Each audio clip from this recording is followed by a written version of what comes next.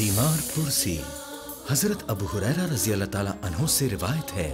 कि नबी करीम सल्लल्लाहु अलैहि वसल्लम ने इरशाद फरमाया कि जिस शख्स ने किसी बीमार की आयादत की